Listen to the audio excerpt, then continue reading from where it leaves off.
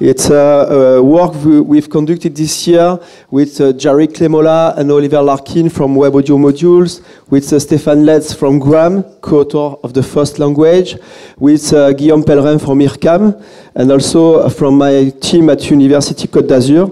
Uh, I work on this with Jérôme Lebrun and two students of mine that are located somewhere there. Uh, okay, so uh, it came out what I present is uh, the result of many, many hours of discussions, uh, exchanging by email, video conferencing, visits, and so on. So it's about uh, a web audio plugin standard. So I added the, the IDs in front of it just uh, to state that it's a very preliminary work and that we, we need all the community feedback. So you know these things, digital audio workstation, native plugins, for uh, different proprietary uh, standards that are not compatible, some frameworks like JUCE or iPlug2 that can help developers compile for the different targets and you've got to deal with the operating systems, with the UIs, and with complicated stuff. But this has more than 30 years of uh, experience behind, so we can not yet compete with such things, and uh, that's why we all thought, and the discussion started more than one uh, year ago, that we would need a plugin standard to make things interoperable. So the music landscape uh, has different standards like a VST, Apple Audio Unit, uh, Avid AAX for Pro Tools, uh, and so on. And uh, it's art articulated uh, uh, around digital audio workstation. I'm just talking about the computer music landscape, not the multimedia uh, enhancing stuff and so on. So an interesting thing is that there is also a standard in the open, open source uh, uh, scene called LV2.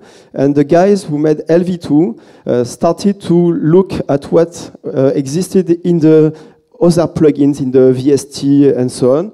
And uh, they used a specification made by uh, a group of people from the MIDI Maker Association. And this is called the GMPI requirements. It's a sort of uh, guidelines, best of, of what plugins should uh, achieve. So you've got general uh, guidelines about events, sample rates, real-time threading, and so on. So it's interesting because the people from LV2 compared their uh, implementation, uh, the specification of LV2 uh, in a table with the GMPI requirements, and they say, okay, this thing we met it, this thing is not relevant, and so on. So we've got a sort of uh, reference we can look at when we want to think about a plugin standard, except that it does not, it does not take into account the web platform and its specificities, and it's uh, also a bit old. It's uh, from 2003. So the Web Audio API, you all know it. It's, uh, in my point of view, still very young compared to what exists in the native world. We've got only very few commercial products, some uh, digital audio workstation, uh, some uh, tools for music schools, well, it starts just now. Um, uh, we just start to see some ambitious realizations, and most authors are also in this room here. Um, so ju i just took some screenshots, and uh, when I publish the URL of my presentation, you can click on them to, uh, to, to, have the demos. And here you've got, um, uh, well, some of these applications that are written using standard audio nodes with graphs and some other ones are just a, a WebAssembly running in an audio worklet.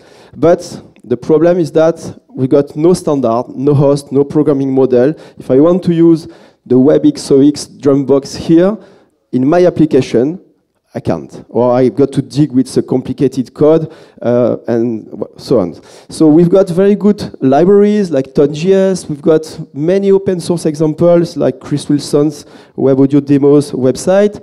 We've got some DSL for compiling DSP code uh, for web audio, like Faust, and we've got some impressive effects and instruments. So uh, I will show some demos uh, later. So the idea uh, was to uh, bring a team and we met at the Web Audio Conference. The last year, I finished my presentation about the guitar tube amp simulator by showing a, a, a pedal board with some plugins connected together. And I said, we need to work on such a thing. And Jari, Jari Kleimola, uh, sent me a long email saying, Michel, we must do something together. And after a few months, uh, we started, I, I, I started to have one of the web audio module synthesizer in my host running and connected to a simple delay uh, effect uh, that was written by some, somebody else. And Jari said, yes, yes, yes, I'm so happy that we managed to do this. And uh, so we built a, a team uh, with different uh, backgrounds. So uh, Jari and Oliver Larkin here, you can raise your hand maybe.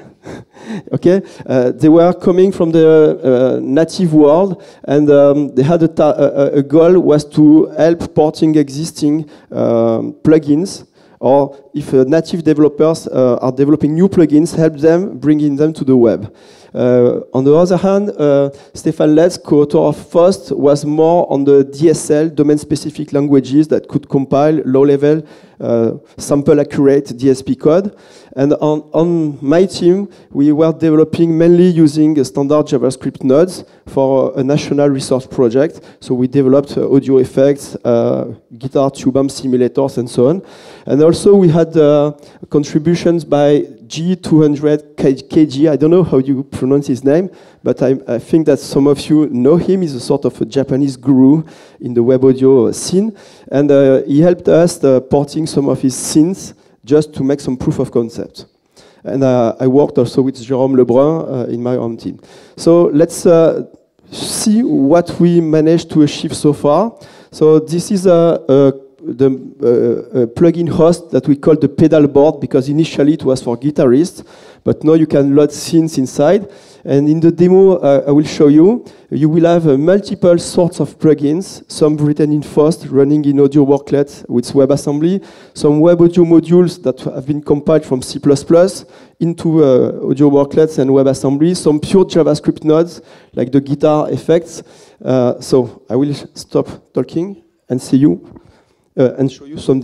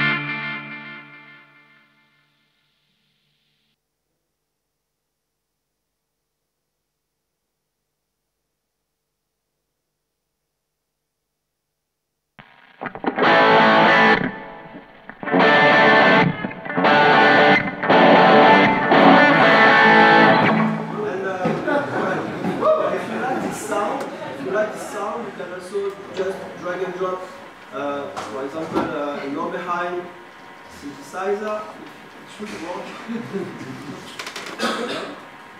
it should work. So this is uh, the, all the code is downloaded dynamically from the Finland from uh, a, a repo there. Okay, maybe let's try again. Okay, let's try again. This is the Timo effect, so I'm just dragging dropping the things here. Yes, it worked.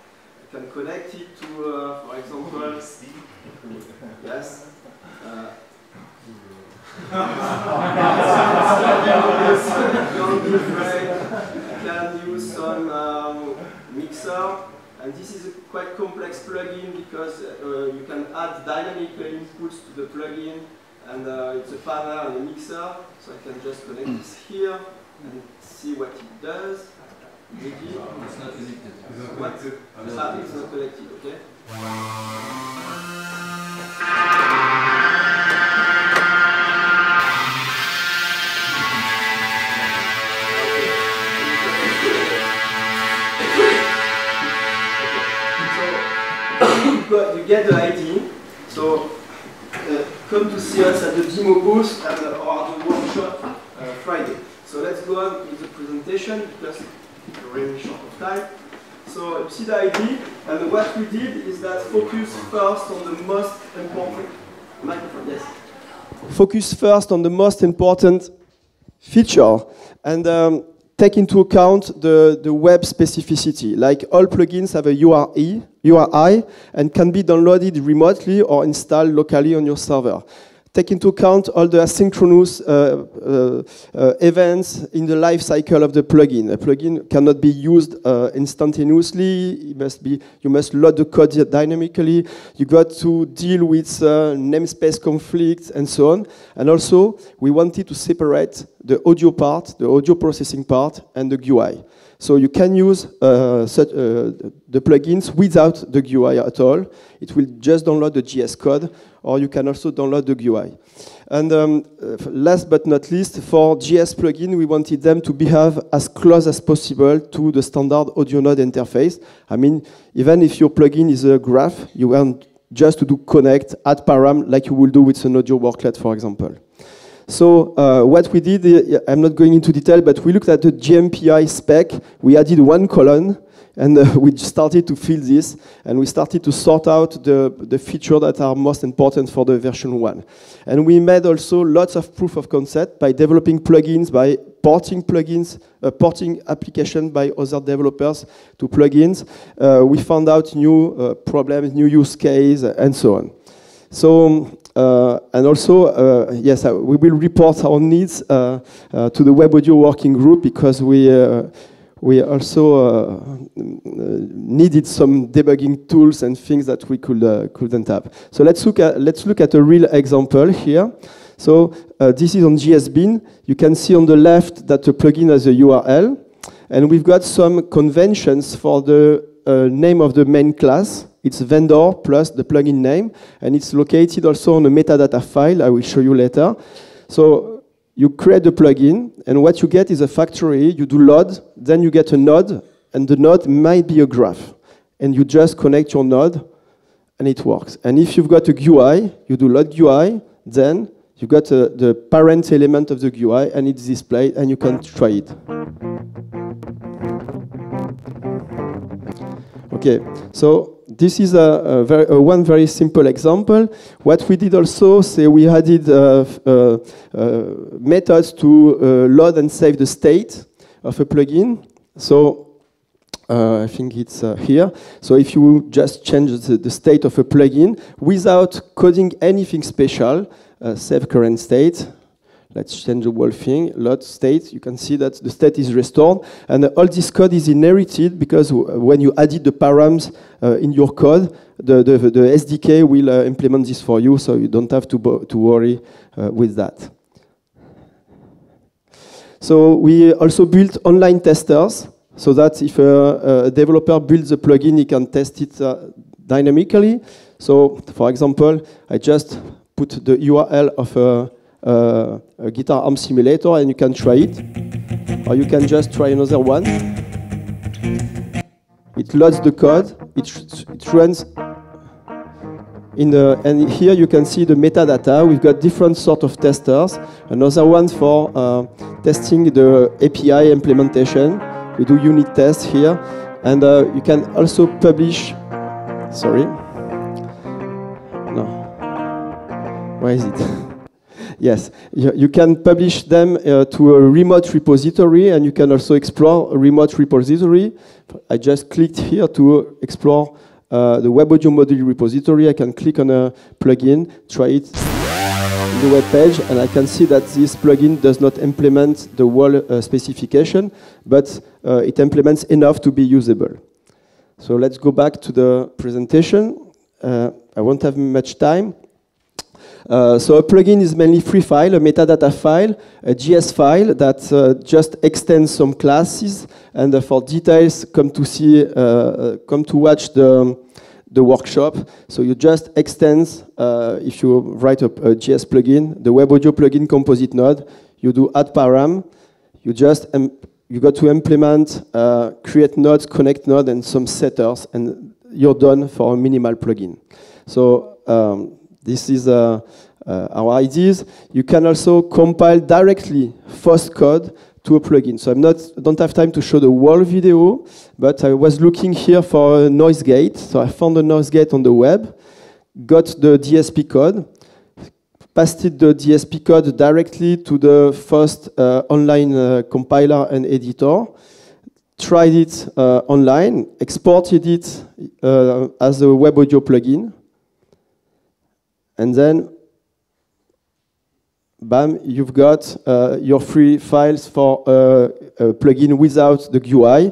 And I don't have time to show the details, but then just entering the URL of a, a plugin without a GUI, we've got an online um, uh, GUI editor where you can just uh, uh, build the, the, GUI, you save the code, and all the listeners are uh, uh, bind, all the params are binding to the buttons and so on, because this thing just asks the plugin for a description of the params. So uh, once you you did this, you can publish your uh, test your plugin. You can, yeah, this is a noise gate. You can publish it uh, on a repo. So you can. This is the JSON of a fake repo we we tried. We just added this, and uh, the host you saw is uh, interrogating uh, at startup the different repository, and then you can have a, a noise gate in your set of plugins. So let's go. Yeah. So I could uh, drag and drop uh, the noise gate, and uh, really making this noise gate was very quick. So I think I'm running out of time. Okay. So let's conclude. So where are we today? We've got a SDK on a GitHub project that comes with lots of uh, example. So you've got uh, plugins in Pure.js, plugin in Faust. You've got a tutorial that we will uh, do during the workshop. You've got lots of uh, online example. You can try all the, all the GSB I showed.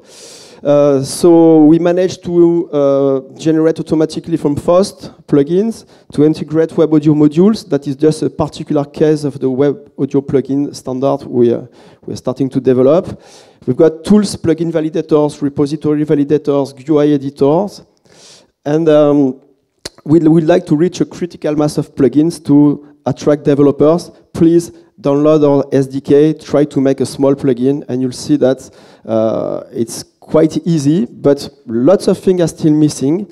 Uh, the next step is uh, we're going to work on MIDI sync, like you've got a drum box and you've got an arpeggiator in a synth, you want them to play together, you, uh, adjusting to a global tempo. We want to have MIDI plugins, not plugins that process audio, but for example, that will generate uh, some, some melody or that have MIDI in and MIDI out, so you can connect plugins not with the audio uh, graph, but with uh, MIDI, some MIDI events.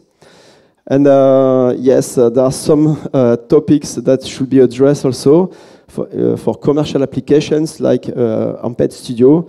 Jari asked me what about copy protection. and also performance issues. We really need a way to debug easier, uh, easily the, the audio graph because with such a, a, host, I managed to reach the audio graph limit in Chrome.